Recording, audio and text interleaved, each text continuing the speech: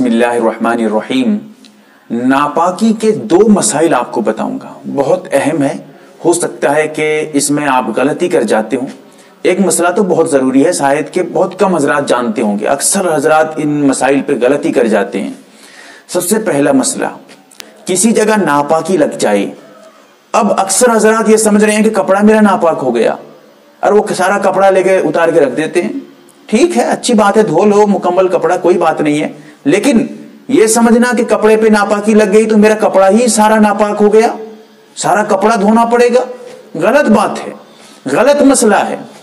सही मसला क्या है? जितनी जगह पे नापाकी लगी हो, मिसाल के तौर पे नापाकी सिर्फ़ यही लगी है। इतने ही जगह नापाक होगी। उसके अलावा और सारी जगह पूरे कपड़े सब पाक हैं। अगर आप इतने ही जगह, जितनी जगह पे नापाकी लगी है उसी को आप धो लेते हैं, साफ़ कर लेते हैं तो अब आपका कपड़ा पाक है। सारे कपड़े को धोने की ज़रूरत नहीं है। हाँ, अगर आप सारा कपड़ा धोते हैं, कहाँ नापाकी लगी थी आप भूल गए। यहाँ नापाकी लगी थी या यहाँ लगी थी या यहाँ यहाँ कहाँ लगी थी नापाकी कपड़े पे? आपको याद नहीं रहा? अब आप सारा कपड़ा धो लीजिए ताकि यकीनन आपका सारा कपड़ा जो है पाक हो जाए, कोई शक बाकी नहीं रहे। लेकिन अगर आपको मालूम है नापाकी यही लगी है। पेशाब बच्चा कर दिया था, यहाँ पर थोड़ा सा पेशाब लग गया है। आप उतनी जगह को पानी से अच्छी तरह धो लीजिए। आपका कपड़ा पाक हो गया। अब मिसाल के तौर पर छोटा सा बच्चा है, किसी के गोद में पेशाब कर दिया। अब वो ये समझ रहा है कि मैं गुसल करना पड़ेगा, नहाना पड़ेगा भाई। क्यों? नहीं, नापाक जो है, पेशाब जो है, नापाक था, वो मेरे बदन पे लग गया। गलत बात है। अगर बच्चा आपके पैर पे पेशाब कर दिया है तो पैर को धो लीजिए। आप सारे पाक हैं, गुसल करने की ज़रूरत नहीं है। मसला कितना आसान है, सोचिए। लेकिन आजकल इसको कितना जो है मुश्किल बना के रख दिया गया है। फिर उसके साथ साथ एक और मसला, पाकी नापाकी के बारे में।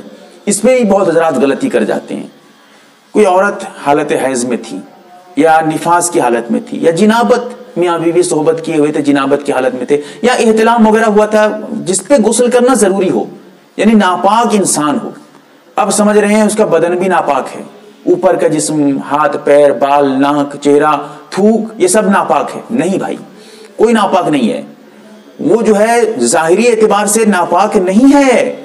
अगर वो किसी चीज़ को पकड़ लेता है, छू लेता है, वो चीज़ नापाक नहीं होगी। इसी तरह उसके थूक, उसकी जो थूक है, ये भी पाक है, नापाक नहीं है। पता चला इससे क्या, मैं क्या बताना चाहता हूँ, वो समझिए। अगर नापाक आदमी, नापाक औरत, कोई कपड़ा पहनी हुई है वो क, उस कपड़े पे अगर बजाहिर कोई नापाकी नहीं लगी है तो उसके पहन लेने से वो कपड़ा नापाक नहीं होगा। अक्सर हजरात समझते हैं कि अरे मैं नापाकी की हालत में ये कपड़ा पहन लिया था इस कपड़े को कैसे पहन के जाऊँगा नमाज़ पढ़ने? मैं नमाज़ कैसे पढ़ूँगी इस कपड़े पे? इसको तो मैं नापाकी की हालत में पहनी थी जब तक धोऊँगी नहीं जब तक इसको जो है साफ़ नहीं करूँगी तब तक मैं इस, इस कपड़े से नमाज़ नहीं पढ़ सकती। गलत बात है ऐसी बात है ही नहीं। आप नापाकी की हालत में किसी कपड़े को पहन लेने से वो कपड़ा नापाक नहीं होता है। ये जो चंद मसाइल नापाकी के बारे में थे, जिन पे अक्सर हजरात गलती कर जाते हैं, वो मसाइल मैंने आपके सामने रख दिए हैं। आपकी ज़िम्मेदारी बनती है।